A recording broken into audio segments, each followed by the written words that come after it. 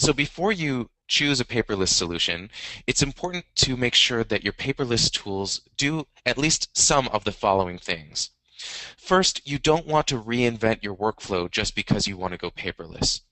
The things, the tools, the services, the applications that you use should fit very naturally into you how already work, instead of you having to completely shift how you work around them. Also, and this is a challenge for a lot of people that I work with, if you're scared of technology, you should be able to still use these tools. It should be easy for you to get your papers into your computer, whether you use a desktop scanner, or it should be easy for you to use and access the website that lets you access your documents if you use one of these services or applications.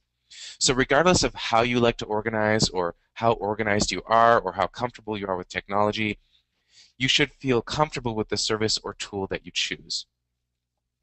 Another important thing to consider is that most of us have both electronic documents that live on our computer, whether they're emails that we were sent or things that we've created, in addition to paper-based documents that have come in through the mail or things that we collected with clients or vendors or at meetings. Any paperless tool that you choose should let you merge both of those worlds. What we don't want are two separate systems, two islands of information, one paper and one electronic. Ideally, we want to try to combine the two as much as possible so that when you're going to access your information, you don't have to look in two separate spots. Also, you want to be able to choose how your docs get into the system. So whether that's a scanning system that you use or an online application or tool, you want to have control over whether you email in your documents, whether you scan them, whether you drag and drop from your own computer into the database or into their application, whether you send things in through the mail or whether you take snapshots on your phone. You want to have a variety of ways to get your stuff in. You don't want to be locked down to just one method. Now, this is really, really important. When we get things on our computer, one of the main strengths of getting them there is that we're able to search for things, just like we search for things on the internet. So you want to make sure that your paperless solution does what's called OCR, or Optical Character Recognition. And this is where, during the scanning process, the scanning tool, whether that's your scanner on your desk or the service that you use, scans through your document looking for text and as it sees text, it recognizes it and makes it searchable. This is how later when things either live on your computer or on the service itself, this is how you're able to search for things that you need and find them when you need them. So make sure that any tool you choose does what's called OCR or optical character recognition. A few more things to look for. You should be able to organize things however you want and this is something that I believe for whatever system you choose, whether that's for your storage or for your time, but especially for your paper because it's so detailed, it's really important that you're able to organize things how you think about them. So you should be able to create whatever categories or tags or labels or folders that make sense for you because you're the one who needs to be able to access your information.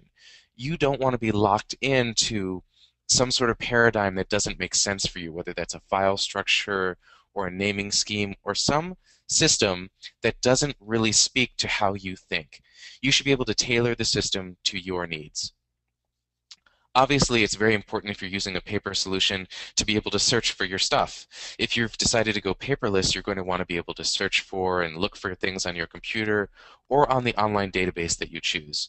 So make sure that there's good searching and sorting tools available. Important also is once you go paperless, it's likely that you're going to be much more apt to share your documents with other people because you won't have to send them out through the physical mail anymore or fax them or send them via courier or any of those other methods. You're likely to be able to just send an email or even from within some of these online tools, you just click the share button, put in the person's email address, and then they receive a copy of the document.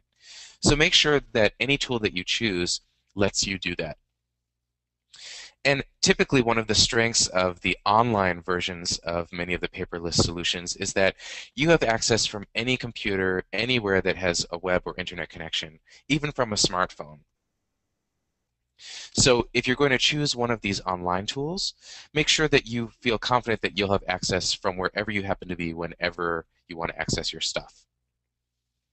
And finally, regardless if you choose an online tool or an offline tool like a scanner, you want to make sure that all of your data gets backed up regularly. And by regularly, I mean all the time, not just once a month or last week, but really daily is best. If you're keeping important information on your computer, it's essential that you back it up all the time. So if you're keeping your scanned docs that you used uh, your own personal scanner to scan on your computer, make sure that you have an effective backup system installed on your computer. Conversely, if you're using an online tool, make sure you've checked out what the company's data security is, what their privacy policies are, and what their backup situation is. You want to make sure that you feel comfortable with who is hosting and storing your data.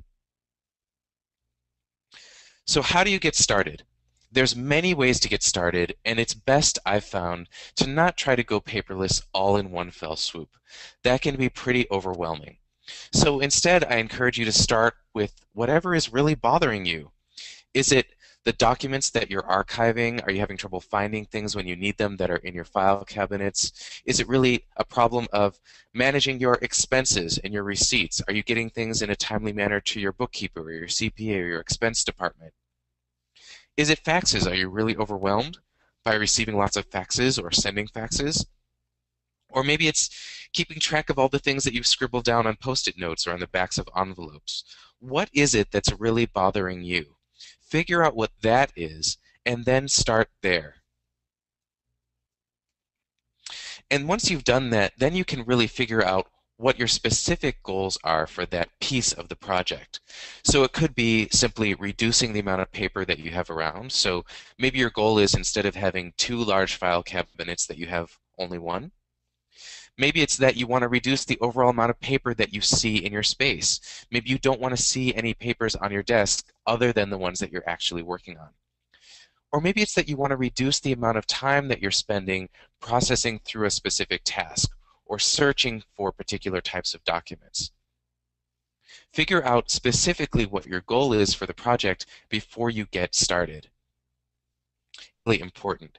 Before you start scanning documents yourself or before you stuff an envelope and send them off to get scanned by a service, it is absolutely essential to edit through the papers that you have, really weed through and get rid of what you don't need, use, access, or want. Because you don't want to waste time and or money having things scanned that you don't really need.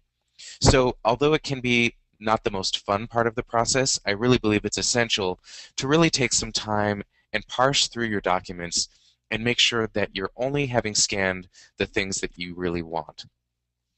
Also, another step here is you can identify which things are truly archival, which I term cold storage, and which are really active, things that you're really working on. You may want to start by having scanned the things that are more archival so that you're not completely interrupting your workflow and having the things that you're working on today scanned. You might want to do that a little later after you've gotten more into the paperless habit. So often it's easier to identify and categorize the things that are archival, get those scanned first, and then move on and start scanning the things that are coming in the door. a few pitfalls to avoid. It's not, not all rainbows and puppies in the world of scanning and going paperless. There are some things to know some things that can go wrong. Hopefully they won't for you. Keep these in mind. First, have realistic expectations for what you can hope to accomplish. As I mentioned, going paperless does not mean going paper free.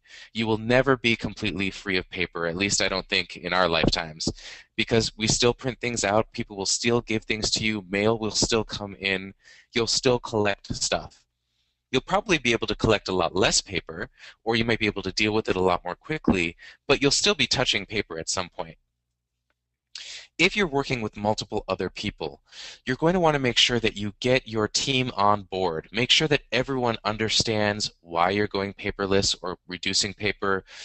Make sure they understand what the benefits are and also what the challenges might be, what to watch out for and make sure that they understand their role in the process. Are they the ones that are going to be doing the data checking? Are they the ones that are going to be doing the scanning? Will they be the ones that go to the online service and make sure that all the documents got there? What is there, sit there all on the same page before you implement a solution.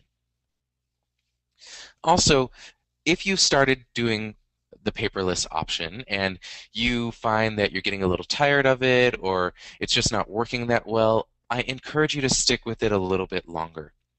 Like anything that's worth doing, going paperless is a habit.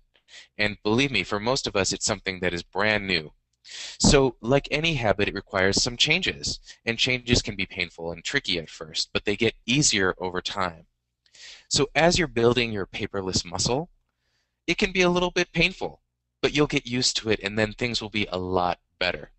So, stick with it for a while. If you feel like it's not working right away, it probably isn't. It's going to take you a while to get used to it.